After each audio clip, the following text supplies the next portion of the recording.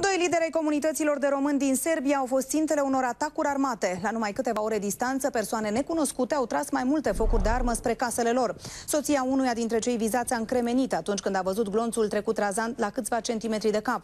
Ciudat este că cei doi lideri trăiesc în localități situate la mare distanță una de alta. Motivele agresiunilor sunt necunoscute, însă anchetatorii vorbesc de răzbunare etnică.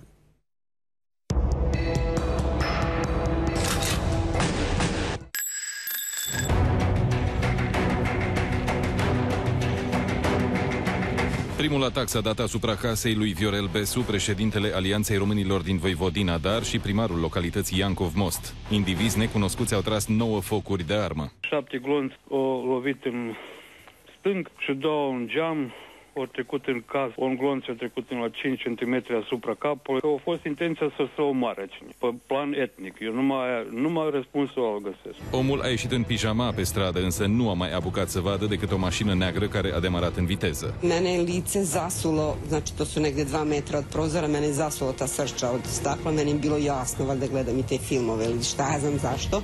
Instinkt mi je govorio da što pre se spustim dole na, na pod i otišla sam, to jest puzala sam iza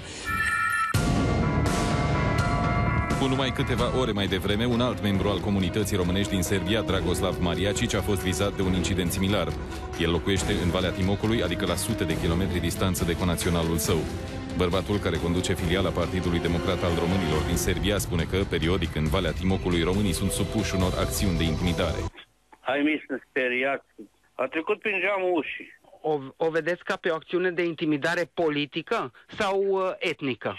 Și politică și etnică. Românii din Timok spun că au un conflict mai vechi cu sârbii după ce ai noștri au vrut să-și ridice o biserică ortodoxă și o școală. Chiar acum câteva zile, doi indivizi au amenințat-o pe femeia care trage clopotele în localitate pentru români. Incidentele sunt cunoscute și de Ministerul Afacerilor Externe de la București, care privește cu îngrijorare aceste acțiuni de intimidare a comunității românilor din Serbia.